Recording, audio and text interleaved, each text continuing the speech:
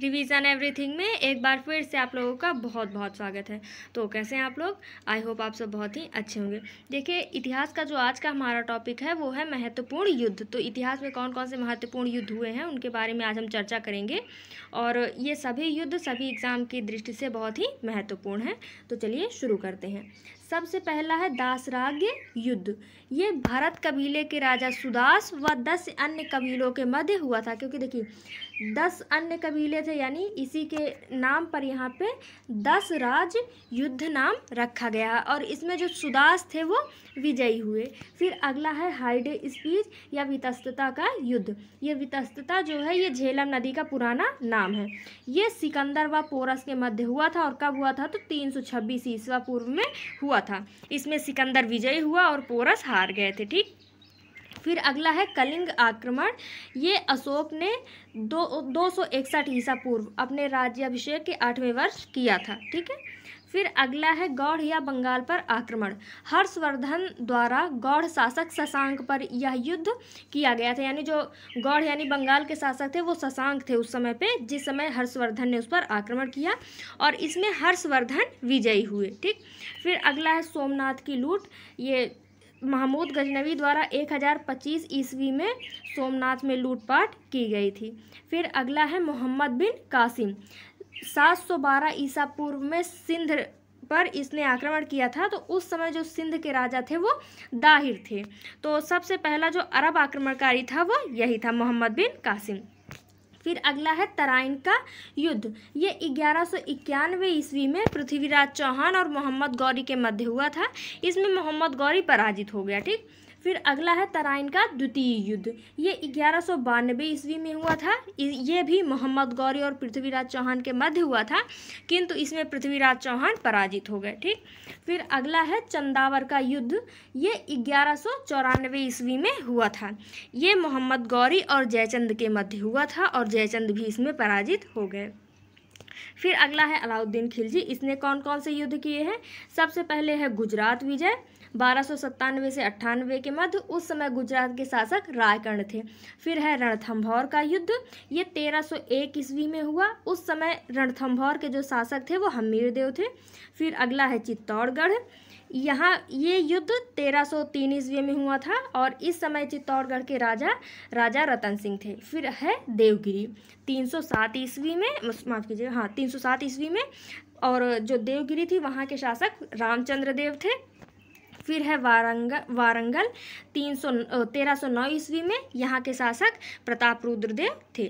फिर उसके बाद है पानीपत का प्रथम युद्ध, जो कि 1526 ईसा पूर्व में इब्राहिम लोदी और बाबर के मध्य हुआ था। इसमें बाबर विजयी हुआ। फिर बाबा बाबर ने और कौन कौन से युद्ध लड़े? फिर है खानवा का युद्ध। सत्रह सौ पंद्रह सौ सत्ताईस ईस्वी ये युद्ध बाबर और राणा सांगा के मध्य हुआ था। बाबर इसमें विजयी हुआ। फिर है चंदेरे का युद्ध। पंद्रह सौ ईस्वी पूर्व माफ़ कीजिएगा पंद्रह सौ अट्ठाईस ईस्वी में इसमें भी बाबर विजयी रहा, ठीक? फिर अगला है घाघरा के युद्ध, पंद्रह सौ ईस्वी में ये बाबर और अफ़गानों के मध्य हुआ था और इसमें भी बाबर विजयी हुआ, ठीक? फिर अगला है चौसा का युद्ध, जो कि पंद्रह सौ ईस्वी में हुआ था। ये हुमायूं और शेरशाह के मध्य हुआ था। इसमें जो हुमायूं थे, वो भाग लिए। मतलब कि युद्ध छोड़ के भाग लिए, क्योंकि वो पराजित होने वाले थे। फिर अगला है बिलग्राम का युद्ध, जिसको कन्नौज का युद्ध भी बोलते हैं। ये पंद्रह सौ चालीस ईस्वी में हुआ, हुमायूं और शेरशाह के मध्य। इसमें शेरशाह विजयी हुआ और फिर पंद्रह सौ चालीस में उसने खुद को दिल्ली का सुल्तान घोषित कर लिया। फिर है फिर है मच्छिड़वा मच्छीवाड़ा का युद्ध, जो कि 1555 ईस्वी में हुआ था। हुमायूं और अफगान सर अफगान सरदार हैबत खान और तातार खान के मध्य इसमें हुमायूं विजयी हुआ। फिर अगला है सरहिंद का युद्ध। ये भी 1555 ईस्वी में ही हुआ। हुमायूं और अफगान के सेनापति सिकंदर शाह सूर के मध्य। ये जो सिकंदर शाह सूर था, ये शेर शाह सूरी का ही वंशज था। फिर इसके बाद ही हुमायूं भारत का शासक फिर से बन गया, ठीक? फिर अगला है पानीपत का द्वितीय युद्ध। ये अकबर और हेमू के मध्य हुआ था। उस समय अकबर के साइड से जो इनके संरक्षक थे बैरम खां, वो युद्ध लड़ रहे थे, ठीक?